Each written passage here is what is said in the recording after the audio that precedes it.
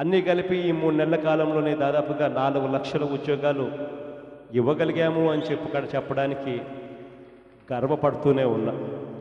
కానీ ఒకవైపున ఈ ప్రయత్నాలన్నీ కూడా జరుగుతూ ఉన్నాక అన్నిటికన్నా విప్లవాత్మకమైన నిర్ణయం ఏమిటి అని అంటే నా పిల్లల మీద మన పిల్లల మీద నాకు నమ్మకం ఉంచి seventy five percent local reservation తీసుకొస్తూ ఏకంగా ఒక చట్టాన్ని తీసుకొని రావడం.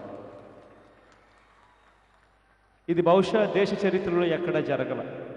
ఆంధ్ర రాష్ట్రం మొట్టమొదటిసారిగా ఒక విప్లవాత్మక నిర్ణయం తీసుకుంది. ఎందుకనంటే ఇక్కడున్న పరిస్థితులు అలా ఉన్నాయి.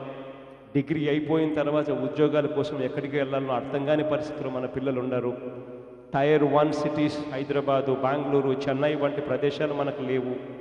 కాబట్టి వీటిని అన్నింటినీ అధిగమించాలి అని అంటే మన పిల్లలను ఖచ్చితంగా ఇక్కడికే ఎవరైనా కూడా పరిశ్రమలు పెట్టడానికి వచ్చినప్పుడు వాళ్ళకు మన భూములు మనం ఇచ్చినప్పుడు ఖచ్చితంగా వాళ్ళు మన పిల్లలకు ఉద్యోగాలు ఇవ్వాలి అని అడగడంలో ధర్మం ఉంది అని చెప్పి గట్టిగా నమ్మి మన పిల్లల కోసం ఒక అడుగు ముందుకు వేశారు. ఈ అడుగు ముందుకు వేసినప్పుడు ఈ అడుగుతో పాటు ఛాలెంజెస్ కూడా ఉన్నాయి.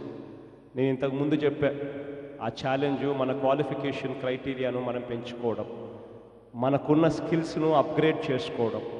మన స్కిల్స్ను అప్గ్రేడ్ చేసుకోవాలనంటే విప్లవాత్మక మార్పులు మనం చదివే కోర్సుల్లో నుంచి రావాలి. మనం చదివే ప్రతి కోర్సు కూడా జాబ్ ఓరియంటెడ్ కోర్సు కింద మారాలి.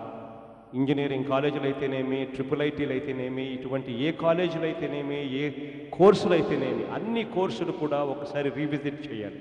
రీవిజిట్ చేసేదానికి ఒక కమిటీని వేశారు. ఆ ప్రతి ఆ కమిటీలకు చెప్పిన మ్యాండేట్ కూడా ఏమిటి అని అంటే ప్రతి కోర్సు రీవిజిట్ చేయండి. ప్రతి కోర్సు జాబ్ ఓరియంటెడ్ కోర్సెస్గా మార్చే కార్యక్రమం దిశగా అడుగులు వేయాలి అని చెప్పి మ్యాండేట్ కూడా ఇవ్వడం జరిగింది.